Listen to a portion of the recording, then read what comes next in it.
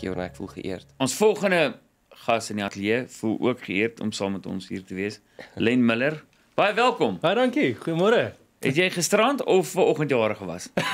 ek wil dit weet. Uh ek dink gisterand. Ek kan nooit, ek weet nooit nie Ja. wanneer mense jare was nie. Ja, ek dink die aande Gisterand, dit maak sin. dan kan dit in die oggende blou hy as jy Mm. moet, jy weet.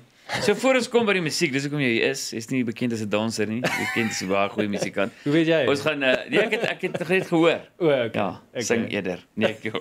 Ons begin om heel by die begin. Ja. Maar het jy Richards baie groot geword of het jy net daar gebly? Nee nee, nee, ek is gebore in Natal, so gebore volbloed Nataller. Waar? Shark, uh Newcastle. O, Newcastle. Ja. Ek het daar met Memel gebly op my dae. O, Wat langs Newcastle, baie lekker dorp. Ja. Dus heel wat rondgetrek, maar ek het uh, hoërskool begin en klaar gemaak met Richards Bay, so ek sien dit is my hometown, jy weet, Mhm. tuisdorpie. En ehm um, ja, hoërskool klaar gemaak daar en toe het ek weer getravel, getoer en toe het ek teruggekom en daar gewerk vir 6 jaar as 'n jeugwerker. 6 jaar. Ja. Kan jy glo? Ja. Maar die musiek was nog altyd daar. Die musiek was altyd daar. Ja, dit was uh, meer 'n stokperdjie in die vorige jare. Mm. Dis nooit jou eerste beroepskeuse wat jou ouers vir jou gee nie. Ja, ja, nee. Jy weet, as mens 'n lys van goeie wat jy eers moet doen. En uh, ek het 'n later eers ontdek ek hou van skryf, ek hou van mm. om 'n klein joernaal te hê. En toe ek besef ek kan musiek by dit sit, toe 'n wêreld wat vir my oopgaan, mm. ja. So jy het nie op skool al begin musiek skryf of goed. Ek het standaard 8 om is te wees. Gitaar begin speel. Ek Okay. wens ek het piano, klavier begin speel, maar Mm. ek het gitaar begin speel want dit was 'n cooler instrument. Mm. En toe het ek ehm um, toe het dit maar ontwikkel van daar af, ja. Ander ander instrumente, jy sê nou jy wens jy het kl- klavier gespeel, maar Ja. jy het gister dink ek 'n foto geplaas uh, waar jy actually voor die Ja. klavier sit en sê Ja, weet jy, ek- opgewonde, kan jy daar 'n bietjie speel? amazing is, ek kan nie vir jou sê waar C op die klavier is nie, maar ehm um, weet ek is- ek's 'n liedjie skrywer. So uh, vir my om melodieë en goeters te hoor is nie altyd maklik om dit op, op is makliker om dit op 'n klavier te kry. So Ja. ek sal op 'n klavier gaan sit en dan sal ek die melodie uitwerk, maar ek kan nou nie vir jou 'n stuk gaan voorlê op die verhoog nie, jy weet. Ek Ja. ek hoop om eendag daar uit te kom. So ek het 'n klavier juis vir skryfdoeleindes, ja. Ja. Ja. Wow. Dis lieflik. So nou sport gewees? Het jy ag sport gewees? Sport gedoen? Gesport. Het jy gesport? Ek het gesport. Het jy gesport Ek was ook baie gesport. nee, weet jy, ek is mal mal oor sport. Ek het ehm um, bietjie rugby gespeel op skool. Ehm um, ek wou altyd binne senter speel, maar dit het my altyd in die voorry ingedruk of flank. So hulle later ontdek ek groei nie te so vinnig soos die ander ouens nie. Jy weet. En ek was ook nie bereid om goeters te spuit of jy weet te gym nie. Toe ek mm. maar ek was maar bietjie meer van 'n kreatiewe siel. So ek het meer myself toe nou gehou in die see. Ek hou van surf, bodyboard. Ek het bietjie ehm um, uh, kompeterend gesurf en gebodyboard op my hoërskool daar. Ehm um, en toe het ek maar die rugby gelos. Jy weet, ek het te seer gekry en besef dalk is ek nie so goed met dit. Maar dit wys jou hoe die wêreld verskil, nee, want ek Ja. bedoel ek ek het net nie ons ons gedink was jy baie in die water. Ja. Maar mense besef nie dat so surf kan 'n sport wees. Ek bedoel Ja. natuurlik gesien mens nou daar bly en groot word. Ja. Dis Ja. absurd.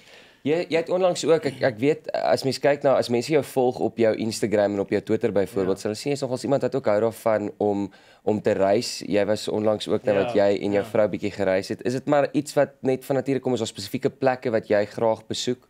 Ja, dit is dit is altyd 'n passie van my om net 'n bietjie ander plekke en an- ander kulture te be beleef, jy weet. En dit is 'n wêreld gaan vir jou oop. Jy kry jy kry soveel perspektief as jy bietjie uit die land uit gaan, jy begin ander mense, kyk hoe ander mense lewe en hoe hulle jy weet uh, omgaan met mekaar. Ehm um, en dit dit gee vir jou so 'n bietjie, dit maak jou bietjie ryker ehm um, in terme van kultuur. As jy terugkom in die land, dan besef jy die dinge wat ons baie keer oortwis is nie altyd so ernstig.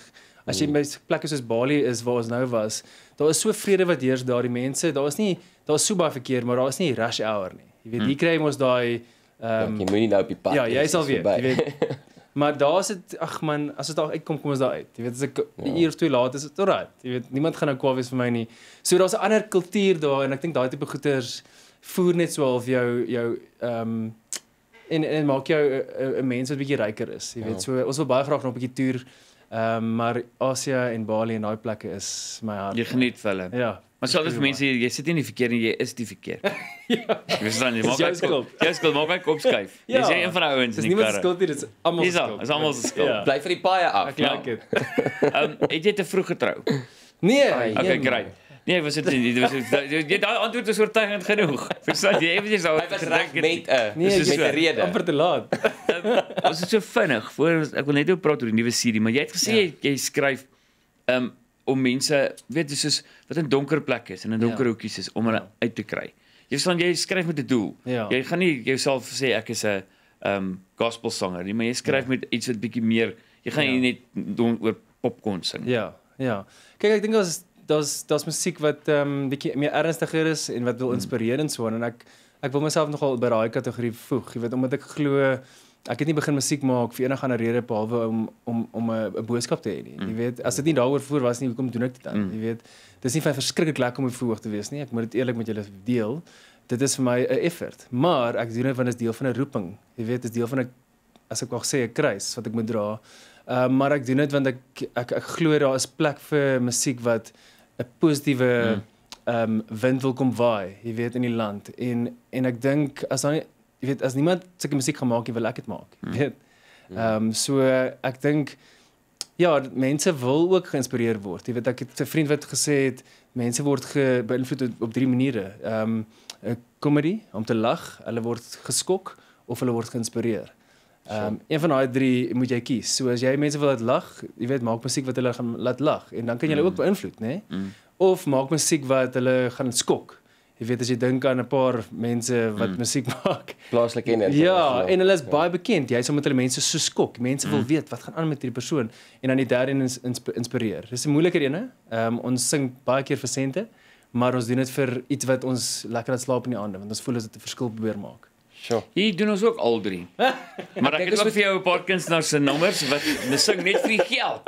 Ons moet ons moet ook nou kry vir ons inspirasie Jorne Ja, op ek die groot so. Ek dink ons moet begin kry vir inspirasie Ja. minute. Ek- Ons ek- gaan net nie nog my praat. Ja. Sê weer? Kontak my agent. Ja asseblief. Nee, sal direk mee Ek werk. sing nie meer vir Kan jy nog voor jou ook betaal dan? Niks sente nog nie. Ons Okay. gaan nie nou praat oor uh, oog van die storm. Kyk uit van die nuwe Yes. album. Bly geskakel ons gesels net hierna oor Len Miller se album. Jy is geskakel op die groot ontbyt Groot FM 90.5 kanaal 144 op kyk net. Ons gesels met Lenny Miller oor sy album. Ek wil eers gou vinnig weet waar jou naam vandaan kom want jy praat van jouself as Lenny, maar dis Len Miller. Ja. Ek is ehm um, gebore Lendert. Lendert, ja, D E R D aan die einde. En uh Lenny is maar 'n noemnaam wat mense vergeet toe ek goed groot geword het. So mense wat ek nou goed ken, mag vir my Lenny sê. jy weet. Yes. Familie en kluisvriende. Jy gaan so vir mense, Nee, ek my naam is. Lenny, my vriende, mag nee, my my naam is Len, my vriende noem my Lenny, noem Ja. my Len. Dan weet hulle. Dan weet hulle nog Ja. nie in daai inner Nee. circle nie. Op hierdie album het Ja. jy gesê dat want jy's baie gewoond om alleen te geskryf het. Ja. Jy weet en toe gaan jy jy skryf saam met ander ouens en dit is ook vir jou 'n geweldige 'n nuwe ervaring. Ja. Want dit stretch jou en hulle sê vir jou, "Weet ek weet nie of ek daai noot kan bykry nie." En dan dwing hulle jou so 'n bietjie en dan kry jy dit. Ja. Jy weet daai hele ervaring, is dit anders wat jy anders gedoen het op hierdie album? Ja, ek ek dink ek is baie meer ehm um, ek het baie meer gegroei as as 'n liedjie-skrywer van die vorige album. Ek het vorige album met so met 'n hele paar mense geskryf ehm um, wat my soos jy gesê het bietjie gestretch het. En met hierdie album het ek myself probeer uitdaag en gesê luister kom ek weer kyk of kan ek self skryf sonder om dieselfde goed oor en oor dieselfde konsepte te gebruik. Mm. En dit is die gevaar vir mense aan aan loop as jy al- alles self self wil skryf Ja, en ja. vervaardig is dat jy oor dieselfde goed skryf, jy weet. So wat wat amazing was is dat ek ehm um, saam met Meinhard ek het saam met mense geskryf saam wie ek weer wou skryf. So Meinhard Smit het saam met my geskryf op die vorige album met iets om te glo wat baie goed gedoen het. En uh toe het ek hom weer genader. Hy is 'n normale ou, hy het 'n day job en 'n familietjie.